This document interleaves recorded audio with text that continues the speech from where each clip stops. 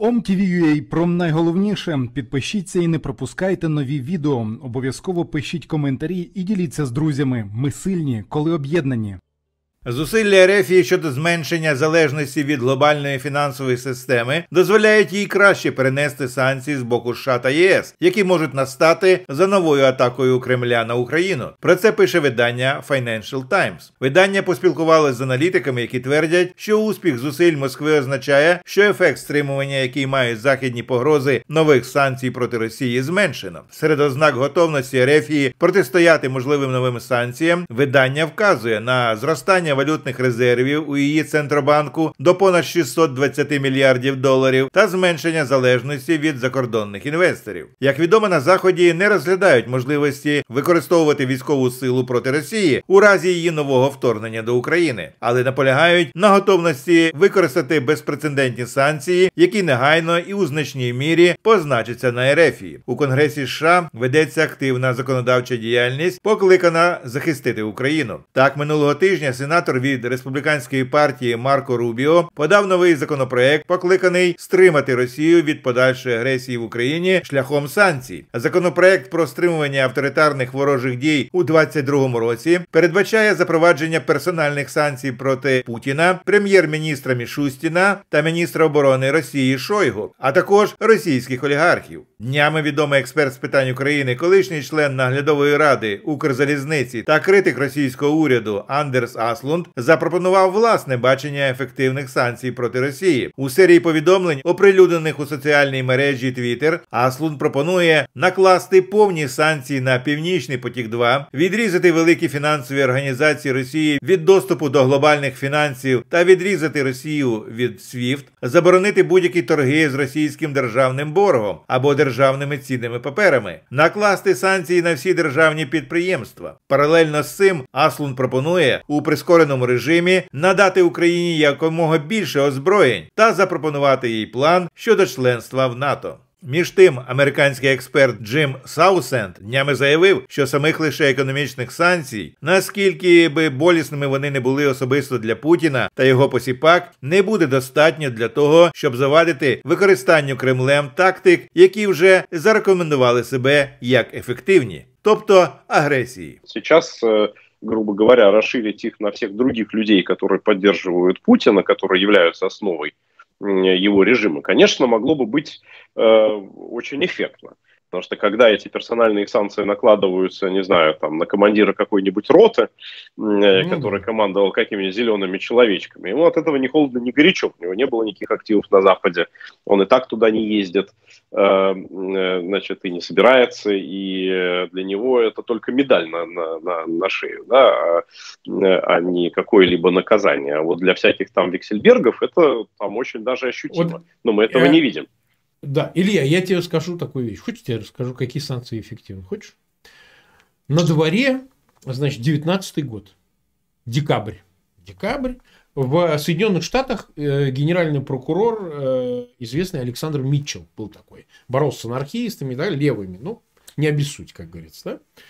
Что делает Александр Митчелл? Он собирает всех 249 человек в Америке, прибывающих, значит, политэмигрантов, левых, большевиков, анархистов, собирает на пароход Буфорт, сажает пинком под зад и обратно к себе на родину. Их большую часть расстреляли. При Сталине всех расстреляли. Ну, там частично раньше даже, да? Всех расстреляли.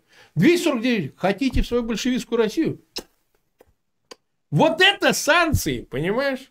Илья, вот это санкции. То есть собирают детишек, все это говно, то все вот это вот всех, да, собрали на кораблик и обратно к себе. Вот.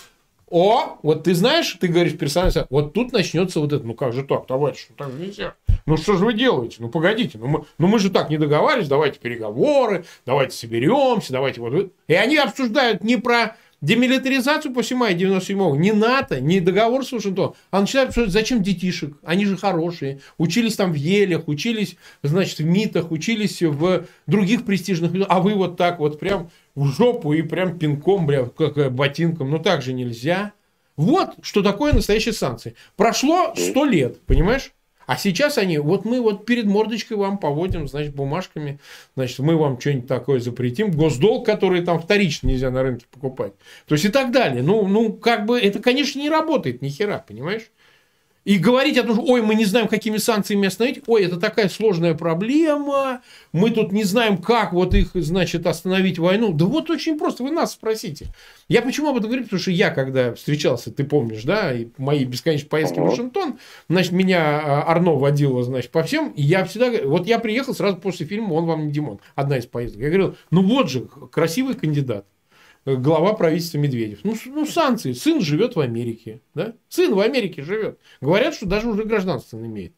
Ну все, и вот, и все, и как бы моментально, и все работает, понимаешь? Ну вот. Я с тобой полностью согласен, там же вопросы не только с Медведевым, но с Лавров, ну, понятно. Там, Песков. Там, Лавров. Так слушай, куча... дети Рябкова в Америке живут. Дети Рябкова живут в Америке.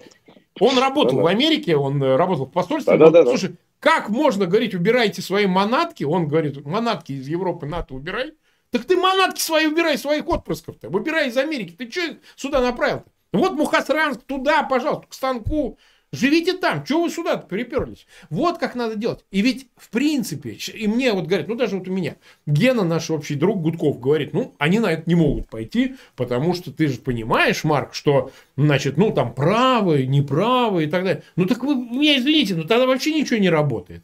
Вы сами набиваете нет, страну, значит, агентурой нет, такими Во-первых, тут нету, тут нету вопроса права абсолютно никакого, потому что даже, в принципе, Я санкции, это не, это, это не вполне правовой э, механизм. Не было никакого это, там суда. Это односторонняя дискреция. Это, односторонняя это дискреция. Да, это, это ну, решение все. направлено по национальным интересам. Это война. То есть вот мы можем просто можем просто посадить и расстрелять, да, то есть вот можем мягким образом депортировать, да, то есть вот, ну, значит, да. и, могли бы сделать и то и то, да, то есть потому что война. Запад должен ставить задачу Э, это действительно должна быть вот у них в голове задача смены там, власти в России. Но я-то лично считаю, что у них нет такой задачи. Э, ну, Более того, а, они, они боятся этого, потому что они боятся, что в результате, так скажем, э, нештатной смены власти в России Россия может начать расползаться, распадаться, ну, ядерное, да, ядерное оружие, и так далее. Непонятно, да. что с этим будет происходить, поэтому они не хотят дестабилизации, они просто хотят, чтобы этот самый Путин оставался у этой самой власти, э, чтобы эта власть имела ту же самую природу, которую она имеет и, и, и так, просто чтобы он себя вел прилично. Вот и все. То есть они при этом они не хотят делать со своей стороны никаких уступок для того, чтобы там его погладить по шорстке. Они просто хотят заставить его вести со своей точки зрения прилично. Но, естественно, это не работает. Потому что ну, уж тогда либо давайте, потому что это лицемерие, да, то есть либо вы проституируете до конца, и тогда там э, так же, как э, Путин делает это там союз диктаторов, да, то есть это наши сукины сыны, да, ну да, и вы тогда говорите, хорошо, это наш сукин сын. И они принципиально не хотят делать тех шагов, которые ты говоришь, по двум причинам. Во-первых, потому что эти все детишки, жены, любовницы и так далее, как это не э, забавно звучит, они большие инвесторы в западную экономику, то есть живя ну, на Западе, понятно. они тратят деньги, они покупают квартиры, значит, они, они там платят налоги местные и, и все прочее и так далее, поэтому счета, да, то есть это, соответственно, местные банки, которые работают на этих самых уворованных э, у российских граждан день, деньгах. А, поэтому это экономический ущерб, если их э, э, депортировать. А, второе, это вот те самые соображения, которые мы говорили там и про Китай, и про Лукашенко. Вот э, Лукашенко это нету вот этого вот интереса, потому что там белорусская элита как раз, она не укоренена на, на Западе, и поэтому они его и отпихивают, уж для них это не является приоритетом. А в отношении российской элиты, так называемых системных либералов, они как раз ну, к ним относятся да. как как к своим сукиным сынам, и к тому же самому Медведеву, там, к Дворковичу, к Шувалову, да. там, к Мишустину, там, Чубайс. Чубайсу, они к ним относятся так, что, ну, да, вот они там служат Путину, ну, там, в критической ситуации, значит, еще непонятно, как они себя поведут, поэтому не надо их отталкивать, не надо их... Старая концепция, старая концепция. Да, да, то есть будем их там как-то вот приманивать вот на, на, на все эти вещи.